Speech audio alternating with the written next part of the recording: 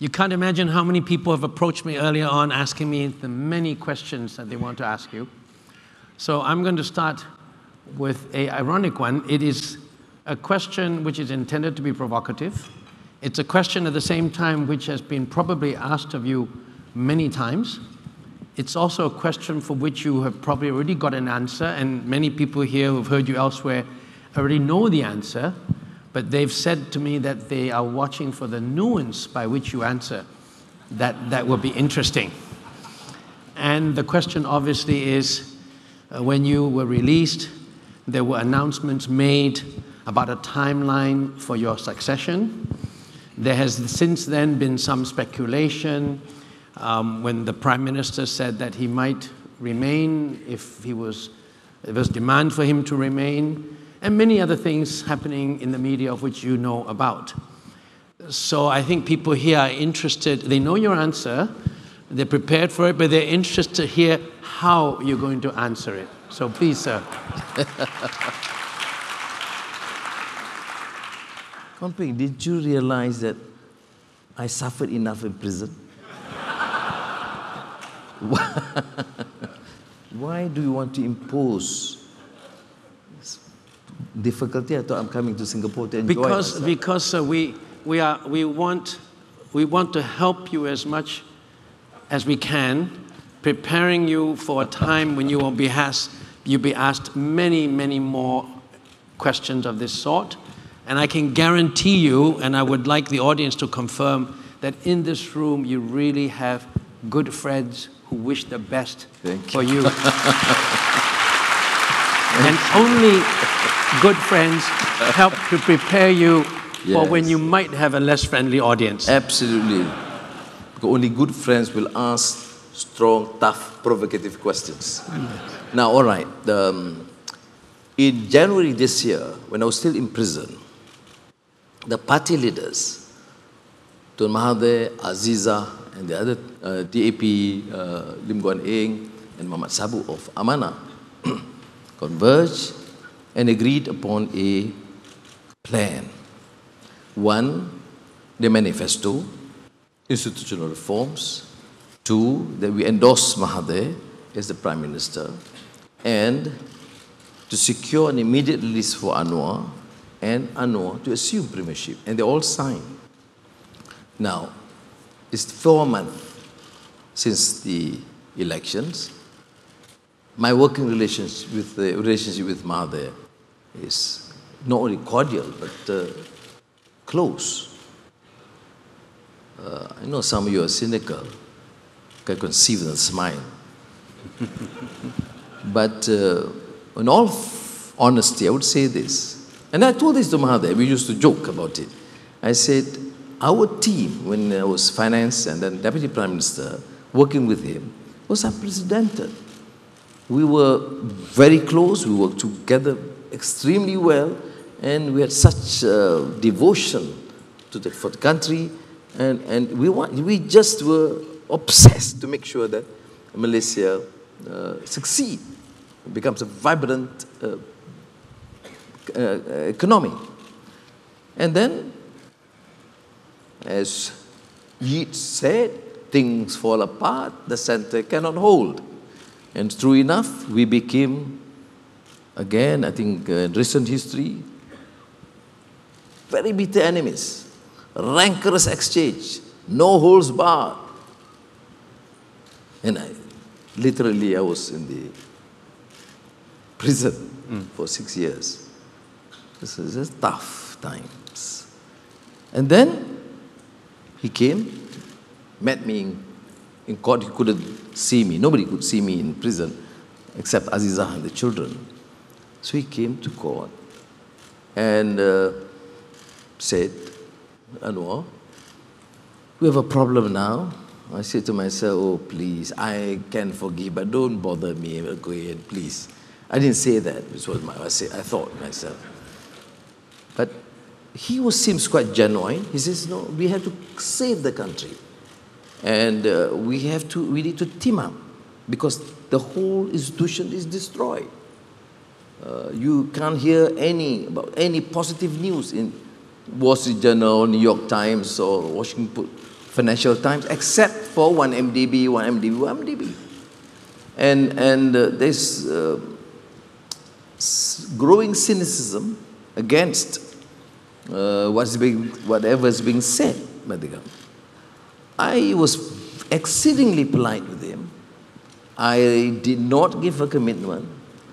Azizah was with me, looked uh, very sad. My two daughters in the corner were crying, failing to understand why Papa has to entertain this man.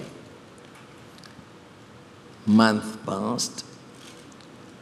To Mahathir's credit, he was more focused on the agenda for reform. He supported our position on judicial independence, free media, ridding the country of corruption. And he said he will do whatever is required to help save the country. And he will serve for a while and secure Anwar's release and allow him to assume what is then, he said so rightfully, his as the new prime minister. So I have no reason, therefore, after this month, to question his sincerity. He has undertaken this reform agenda. But I know him, many of you know him. Of course, our style is quite different. Sometimes, uh, you know, some of his statements and remarks seem to be unduly provocative. Um, I mean, Singaporeans, of course, have learned that a long time ago. now, that refers to the Chinese. But any way possible, when asked, I said to him, look, in the overall context, Mahathir is for reform, for investments, and will not discriminate when it comes to potential investments into the country. There were deals that we were suspicious of, which some of us feel quite dubious, or smack of corruption involved, or, for that matter, that the country can ill afford, given the state of the economy now, that need to be either cancelled or postponed. And that's all. But otherwise, please be assured that I, on my part, have no reason to doubt his sincerity. He has been reiterating every other day because everybody kept on asking. I don't blame you because even in Malaysia, the media will ask, Are you sure? He said, Yes, I know I'll be my successor. And then they ask me, You, you trust him? I say, Yes, I do. So it is, uh, I think both of us should have a taped answer that we can just uh, make ready to question us. Thank you. To, to follow up on that, to what extent do you think Mahathir's participation in the elections this year round made the difference, or would have the coalition won anyway? I would say that in 2013, many of you know that we won 52% mm -hmm. of popular votes. We didn't, we were not able to form the government because we were short of numbers of members of parliament.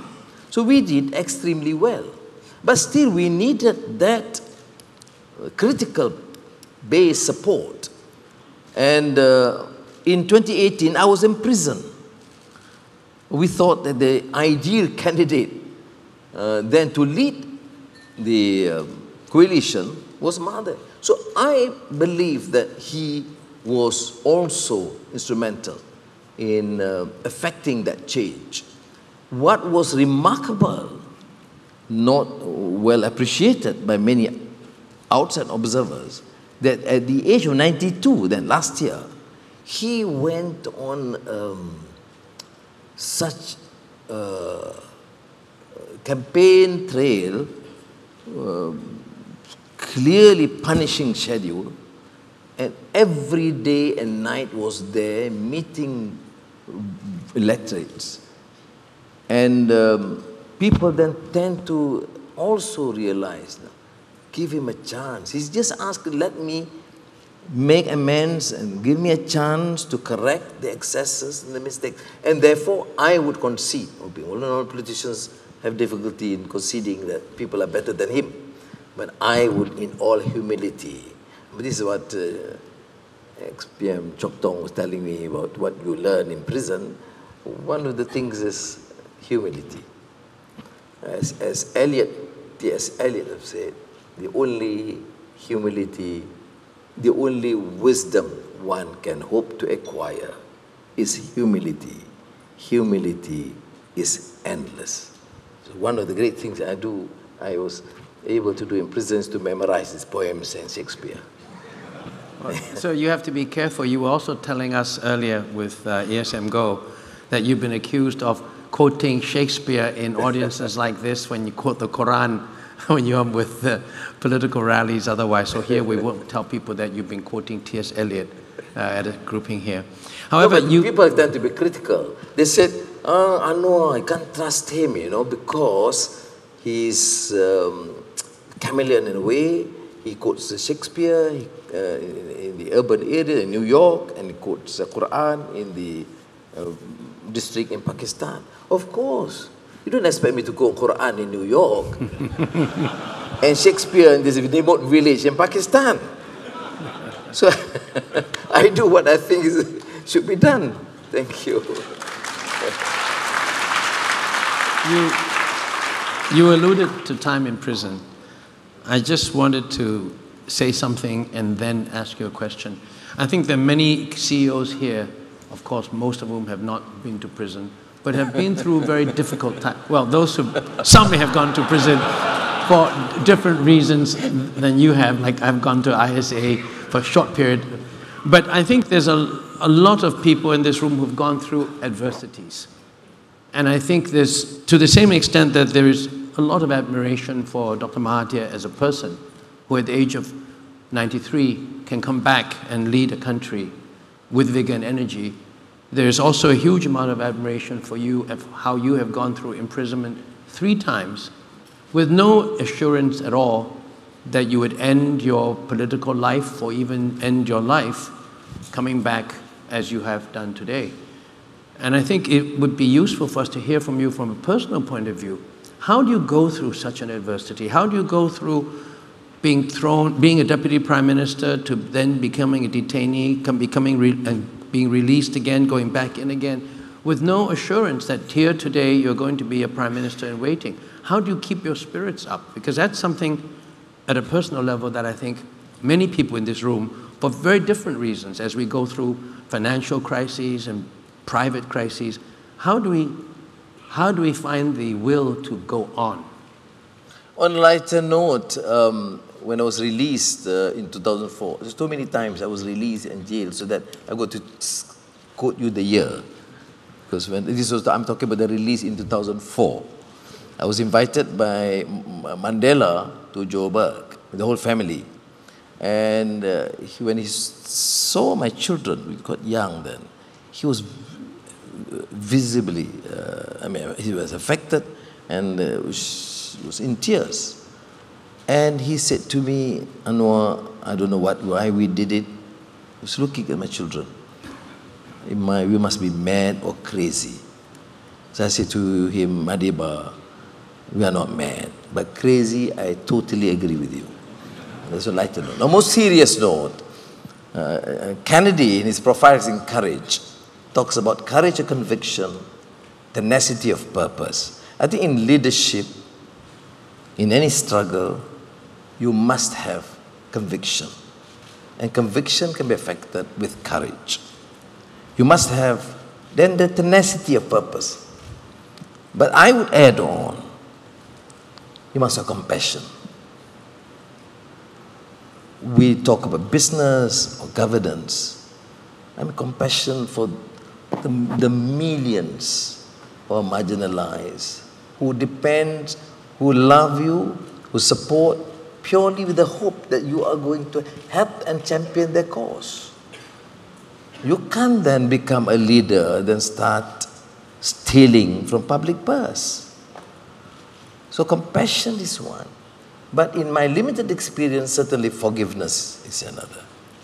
I mean, we have a larger agenda. We have a country to serve. In, in our case, we say save Malaysia. And okay, I suffered. It was a very painful decision. Mind you, it was painful. It was not easy. I'm not a hypocrite to suggest to you that, oh, I was right, you know, I'm philosophically okay. I mean, we can, you have to move on. It's not simple. I know how we, the family and the colleagues suffered. I know how difficult it was when I had to sit with Azizah and Nurul Izzah towards the end and finally endorse Mahathir as the Prime Minister, as our leader. But we decided, again with conviction, because we want to save the country. So what we learn, you must have principles and conviction. And to me, religion plays a part. And, and my years in prison, I had virtually read on Islam, Christianity, Buddhism, Hinduism, the Chinese philosophy. I remember discussing George Yeo. It's beyond Needham, the science and the civilization, you know, Needham. We did discuss those years. Uh, it's beyond that. It's again humanity, again values as integrating force in society and culture, and compassion, and you can't move if you, you are inf inflicted with that disease in the heart of getting angry and not prepared to forgive. You have to let go and move on because for the people, for Malaysians is what? For Anwar to be angry with the past? Yes, they can talk about it, sympathize, or they even cry. But then, for general Malaysians, is what it takes to ensure that Malaysia emerge as a successful nation, economically vibrant, because only that we can share with the people. And therefore, we, if you use that as a priority for the future, then we must be able to forgive and forget the past. Thank, Thank you. you. Let me just ask you one last question before we uh, open to the floor. A very different one, but but you mentioned about how Malaysia can actually be an example to the Islamic world. There has been talk about now a, concept like a Malaysia Spring, similar to Arab Spring, and how the example of the government coming into power in Malaysia could set an example not only in other countries, but in particular in other Islamic countries too. Do you see your new government trying to play a more international role in encouraging more democratization, accountability, etc., in other Islamic countries of the world? Mahathir is a great internationalist. In the past, you know, um, I was deputy prime minister, most of the domestic policies he left to me, and he was traveling overseas. But now I think we, we our, the consensus in the leadership is to focus on the economy and institutions of governance. And um, of course, we have uh, lots of visitors uh, friends overseas wanting to know exactly what happened, what transpired. And to me, we need to also to articulate this view that the notion that Muslim countries or Muslim societies are unable to grasp democratic values is debunked. We are not the first. We have seen Indonesia, we have seen to extent Turkey, but in Malaysia, the change the transformation is phenomenal without a loss of one life. Or uh, probably some years in prison, but not one life lost. And I think this is a great feat in modern times. And, um, and, and therefore, it is a challenge in as much as for the Muslim world, but for Malaysia to prove that we're able to sustain this but again, what's unique in Malaysia is that this, this was achieved with the total mobilization of forces among Muslims, Christians, Buddhists, Hindus. And this is to me remarkable feat. People say, well, I know you are a bit diluted as a Muslim because you think to, you tend to uh, embrace the rest. Uh, the party I lead is a multiracial, multi-religious party. Uh, the vision that we have is a multi-religious, multi-racial vision. I am, as a person, a practicing Muslim. But for the nation, for the society, it is a multicultural, multi-religious society. And uh, I was in Turkey, I was in London, my friends asked, I said, don't give credit just because Malaysia is the so-called Muslim country or Muslim majority. Because we won because of Muslim support, Chinese support, Indian support. And the most remote area in Sarawak called Puncak Borneo, the most remote, which I did not anticipate a victory, is called Puncak Borneo. And we won that seat. You know why? Because of the wisdom of the masses. Never underestimate the wisdom of the people who finally decide what to do, what is right, what is wrong, that to rid the country of corruption and abuse of power. Thank you. Thank you very much. I'd like to now open the floor to questions. There's an app which you can write your questions if you wish to, or if you rather do it a more traditional way, just raise your hands and I will note you.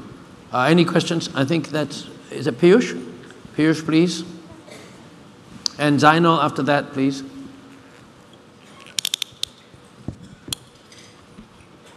Dr. Piyush Gupta from DBS Bank. It's good to see you up and out about again.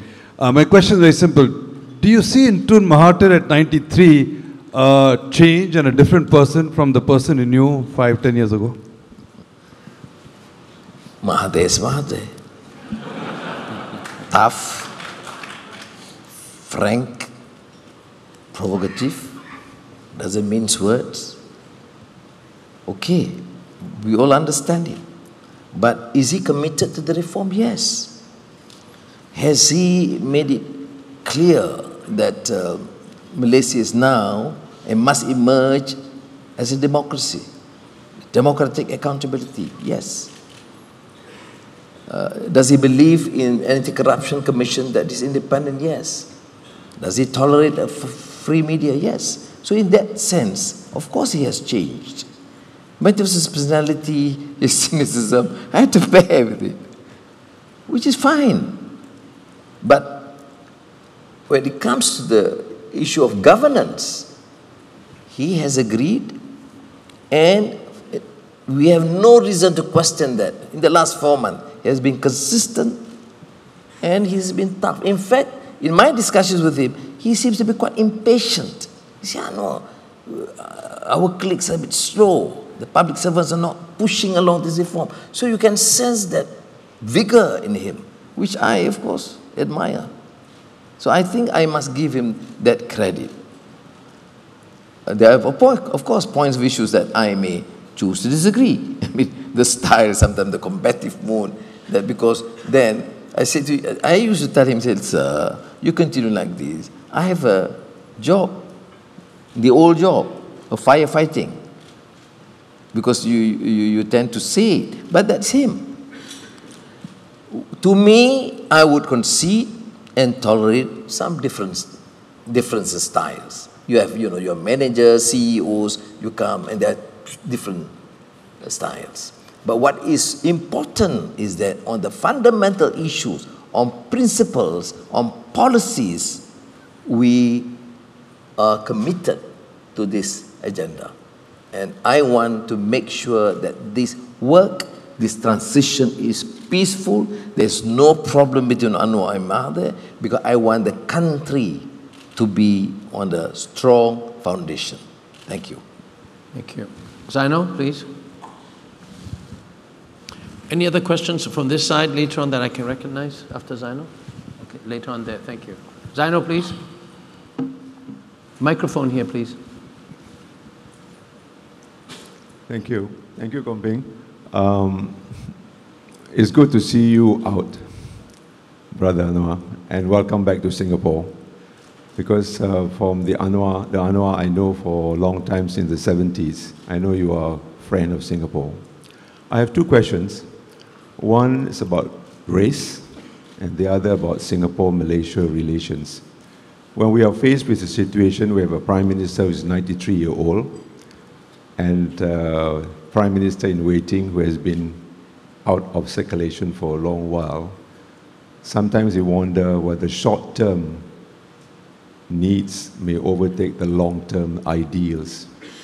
So, the area which is many people's mind is race politics in Singapore, uh, in Malaysia. I know you spoke about it. You spoke yourself about the results, the tsunamis. But has, has race politics or race in the economy really settled down? Or are, do we have to wait for the dust to settle down? And uh, will it be, what kind of a challenge it will continue to be? Because we know it has bugged the system for a long while. And uh, how do you see going forward? Race politics, race relations.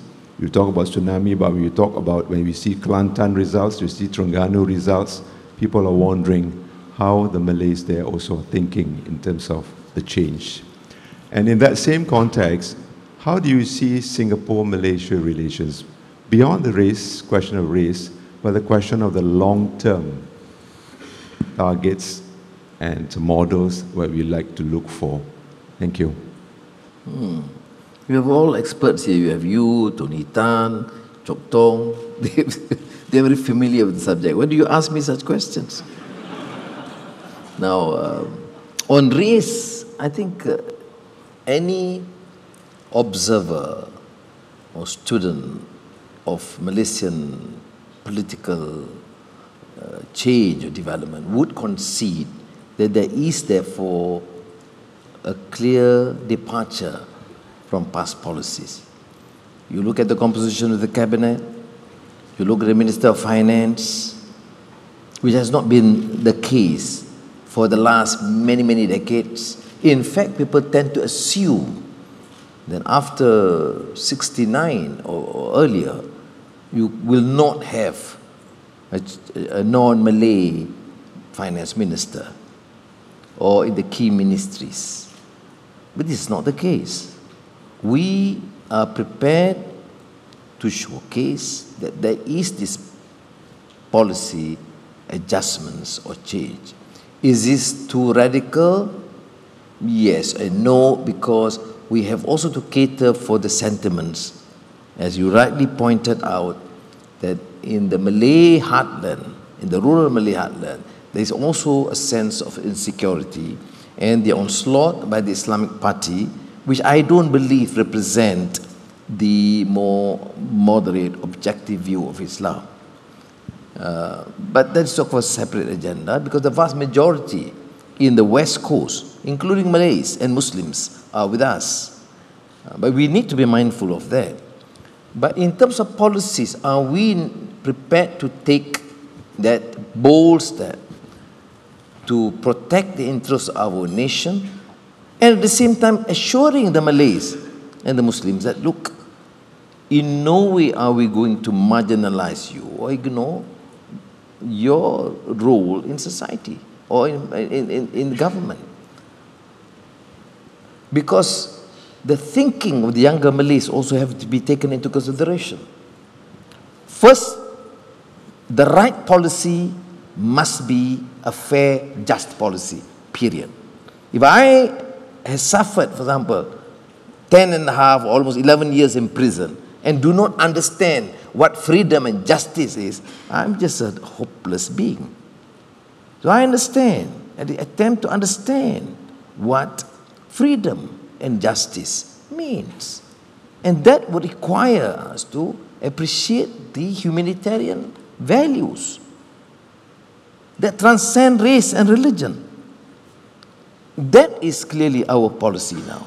Now, pockets of poverty in the midst of plenty, marginalized areas, poor, downtrodden, that must be handled. And it means the majority of the Malays, I'll tell my Chinese friends, you go to some of the remote villages where they become so fanatical because they feel they feel they have been completely marginalized. No good education, no good health services. But this is not a racial equation.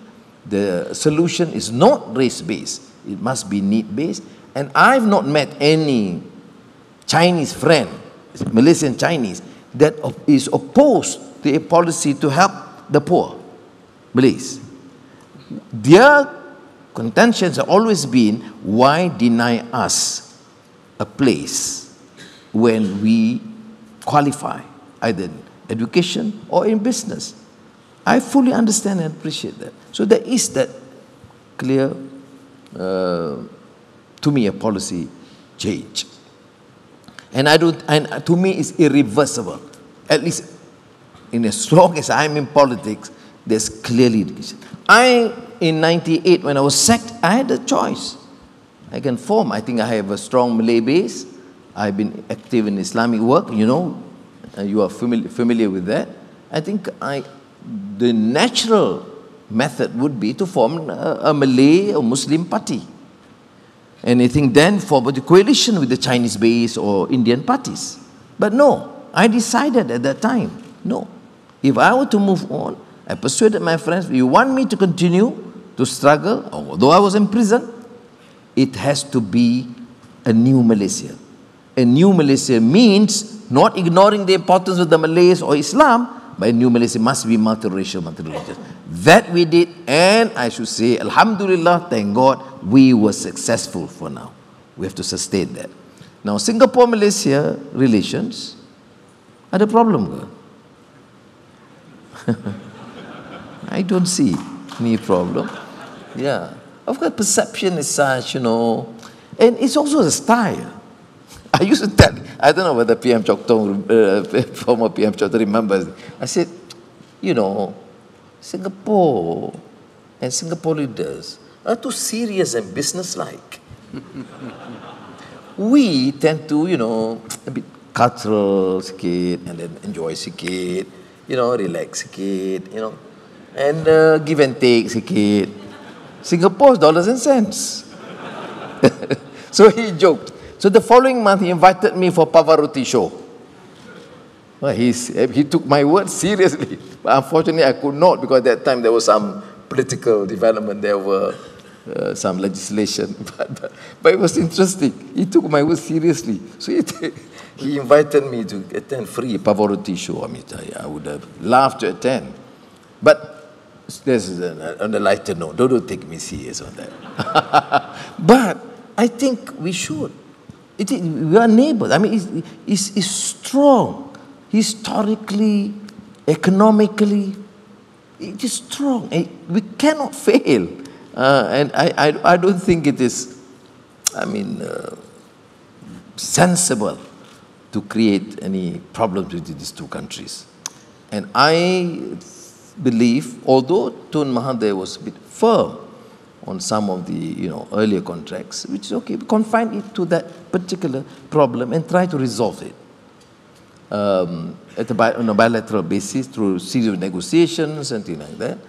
And, and I think you should take into this consideration, although I, I, I mentioned in a lighter vein, but I, I understand, I mean it that it is not just dollars and cents, but you know, take into consideration the nuances, the sensitivity, the need to look forward and to forge that uh, strong bond between the two uh, nations. And um, because you know you are losing the ground because the younger generation does not have the same exposure and experience and, and relationship as the first generation or the second generation. So you have to understand that, and therefore we, we need to take additional effort, which we means, which I mentioned to Prime Minister Hsien Loong when I met him first time after I was in prison, although I was just accompanying the Deputy Prime Minister. Uh, was Anwar's role. You know, in Malaysia, they're very, very formal. The arrival of Right Honorable Deputy Prime Minister Dr. Wan Azizah Ismail, accompanied by Anwar Ibrahim.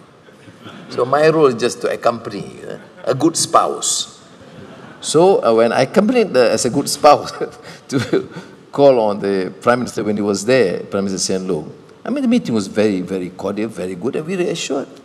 It was, to me, it's a very good gesture, gesture for Prime Minister Hsien Loong to be, you know, the first uh, to come and visit. And I think these signals are important mm-hmm. because this goes beyond just diplomatic uh, encounters or business deals. I mean, I think to rebuild the trust. I don't believe, frankly, after being, after having said this, I honestly don't believe that there is a problem.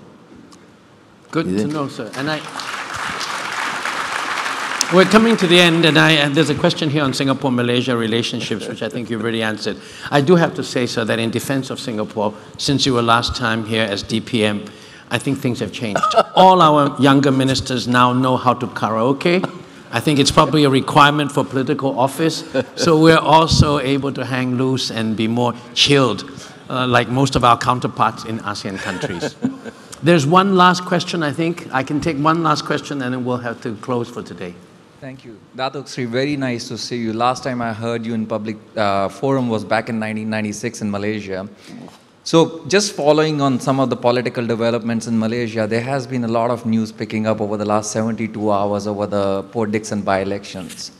How to think about it? It is, is it the platform, the step towards what you described as coming back, changes in timeline, or is just a part of the bigger plan?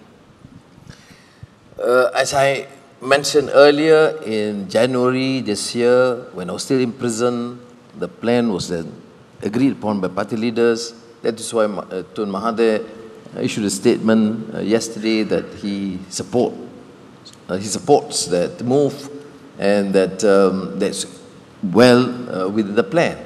In Malaysia, the constitution uh, was very uh, is very clear, specific that uh, a person uh, to assume premiership, one has to be an elected member of parliament. So, um, what was agreed upon was upon the uh, release, then Anwar should be a member of parliament to then later assume office. Am I in a hurry? No. Because I told PM Mahathir that I will focus on parliamentary reform.